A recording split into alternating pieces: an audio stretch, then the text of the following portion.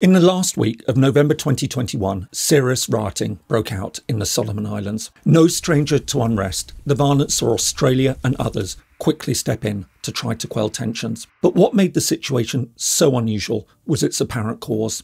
The country's decision to switch its diplomatic recognition from Taiwan to the People's Republic of China. So, how exactly did this foreign policy decision spill over into such domestic turmoil? Hello and welcome. If you're new to the channel, my name is James Ker-Lindsay, and here I take an informed look at international relations, conflicts, and the origins of countries.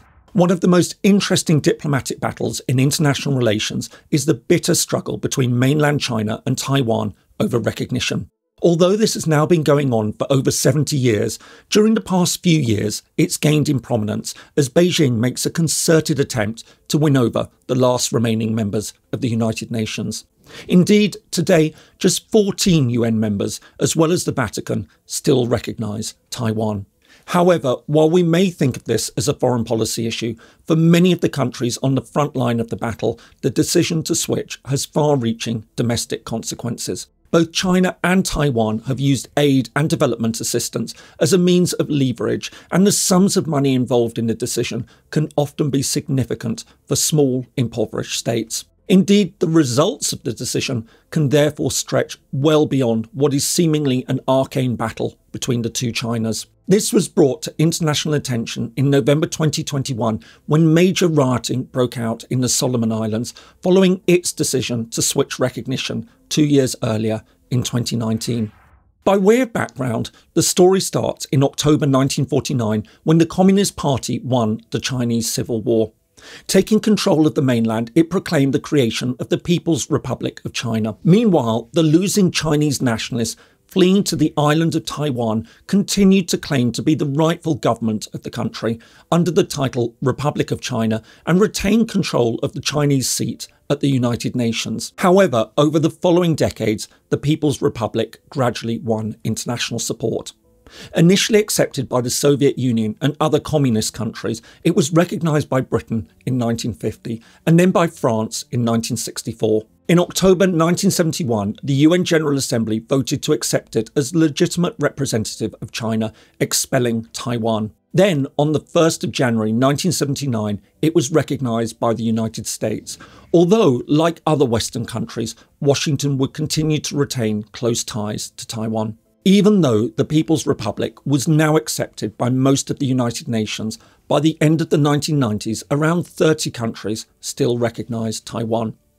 This was largely due to the aid that Taiwan was willing to offer countries for continued diplomatic support. However, over the past decade, and driven by its phenomenal economic growth, which has allowed it to offer ever greater incentives of its own, the People's Republic has stepped up its efforts to win over the last holdouts. Indeed, since 2016, seven countries, a third of what had been the remaining total, had switched recognition. Burkina Faso, the Dominican Republic, El Salvador, Kiribati, Panama, Sao Tome and Principe, and the Solomon Islands. The Solomon Islands lie at the very westernmost end of the South Pacific. Its closest neighbours are the island of Bougainville, currently a part of Papua New Guinea, but on its way to independence, to its northwest, and Vanuatu to its southeast. Mainland Australia lies around 2,000 kilometres or 1,200 miles to its southwest. Composed of around 900 islands stretching across an archipelago almost 1,700 kilometres or 1,000 miles in length, it has a total land area of 29,000 square kilometres or 11,000 square miles. This makes it the 139th largest of the 193 members of the United Nations. The population is currently around 710,000. While 95% are ethnically Melanesian, there are small Polynesian and Micronesian communities, as well as several thousand Chinese. Administratively, the country is divided into nine provinces. The capital, Honiara, is located on the island of Guadalcanal. However, the most populous province is the neighbouring island of Malaita. At present, GDP per capita stands at around $2,300 per year. While according to the World Bank, this puts it in a low middle income bracket of states, this is well below the $3,600 average of small Pacific Island states. Although the Solomon Islands were first settled around 4,000 years ago by Austronesians, the story really starts in 1568 when the islands were discovered by Spanish explorers.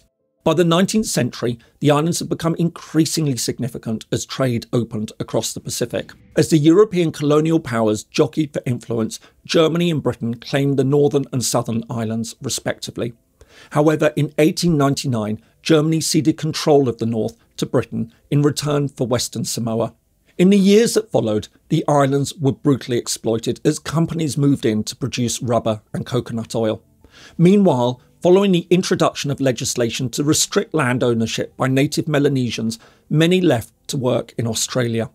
The resulting population decline would see the arrival of Chinese workers to replace them. The islands came to international prominence during the Second World War as the centre of fierce fighting between US and Japanese forces. Although the islands returned to full British rule at the end of the war, calls grew for independence. But while many British colonies in Asia and Africa became independent in the 1950s and 60s, the Solomon Islands would have to wait until 1978 for its chance, becoming the 150th member of the United Nations in September that year. In the years that followed independence, the country became increasingly restless as many people moved from Malaita to Guadalcanal in search of work and economic opportunities. This led to increasingly violent incidents between the native islanders and the newcomers. In 1999, and as the two groups formed their own militias, the government declared a state of emergency. Meanwhile, the following year, the Malaitan militia kidnapped the Prime Minister, himself a Malaitan, arguing that he hadn't done enough to help them. Although he was eventually released, he then resigned from office. Despite the change in leadership, the instability and violence continued, and by 2003, the country teetered on the verge of complete collapse. Following repeated pleas for help from the government, Australia agreed to act, setting up the Regional Assistance Mission to the Solomon Islands, RAMSI, to stabilise the situation. The mission would eventually remain in place for 14 years, withdrawing in 2017 when Australia and the Solomon Islands signed a bilateral security treaty allowing for a further deployment of Australian security forces if needed in future. So, what sparked the current crisis? As noted, the immediate cause of fighting was the government's decision to switch its recognition from Taipei to Beijing in September 2019, following a recommendation from a parliamentary task force. Although the country stood to lose development assistance from Taiwan, the government was promised investments and major infrastructure projects by China, which was especially keen to win over what was by now the largest remaining non recogniser in the Pacific region. Additionally, there were also accusations that members of parliament were being bribed, a charge denied by China. The decision to switch recognition was highly divisive as well as being criticised by the Parliament's Foreign Affairs Committee, which called for closer relations with Taiwan, it was condemned by the Premier of Malaita, Daniel Suidani, who vowed to refuse any loans from China, arguing that they were driven by Beijing's use of debt diplomacy. Meanwhile, leaders in Guadalcanal accused the Malaitan leader of continuing to accept aid from Taiwan, as well as from the United States, to push his campaign against China. Such claims were given credence when it was announced that the United States, which has recently become more open in its support for Taiwan, had promised $25 million of aid projects to Malaita. To put this in context, this figure is estimated to be more than 50 times the amount Malaita had received from all other foreign donors the previous year. It was against this backdrop that a protest against China's recognition took place in the country's capital, Honiara, on the 24th of November 2021.